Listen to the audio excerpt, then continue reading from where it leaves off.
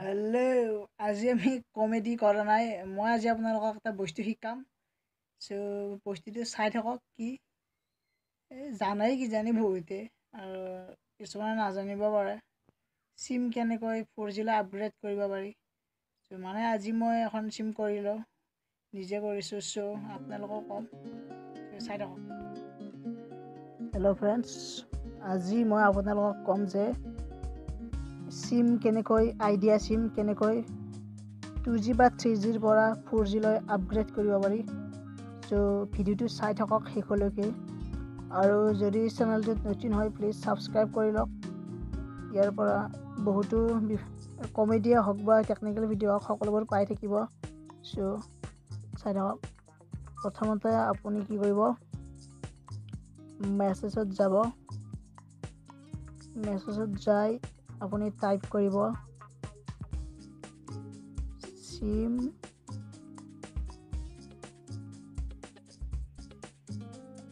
Capital লেটাৰত type কৰিব।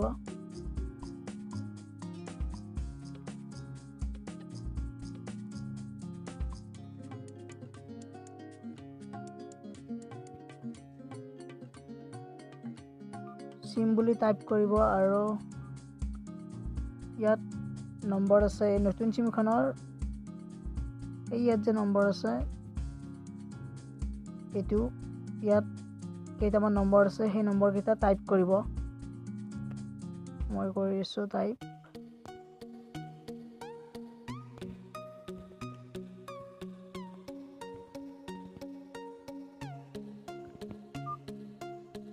Eight সকলোৰে বেলেগ বেলেগ থাকিব। চ' মোৰ তাত আছে eight double nine one two five zero' zero' zero' zero' zero' zero' six four nine two five three three শুদ্ধকৈ কৰিব নম্বৰকেইটা টাইপ চ' মই চাই লওঁ এবাৰ। Eight double nine one two five zero' zero' zero' zero' zero' zero' six four nine two five three three চ' আপোনালোকে শুদ্ধকৈ কৰি ল'ব। কৰি লৈ চেণ্ড কৰিব। ওৱান টু থ্ৰী ফ'ৰ ফাইভলৈকে চেণ্ড কৰি দিয়াৰ পিছত এটা মেছেজ আহিব। এতিয়া চেণ্ডিং হৈ আছে। চেণ্ড হ'ল। মেছেজ এটা আহিব। আহিছে message the dear customer you request for sim upgrade could not be processed the sim not valid no please visit your nearest ইয়াত কৈছে যে যদি আপগ্ৰেড কৰিব খোজোঁ এতিয়াই তেতিয়া ৱাই লিখিব লাগিব। আৰু যদি নকৰোঁ এন নো অৰ্থাৎ আমি সেই নম্বৰত যিটো মেছেজ আহিছে সেইটোতে আমি ৰিপ্লাই কৰি দিম ৱাই বুলি।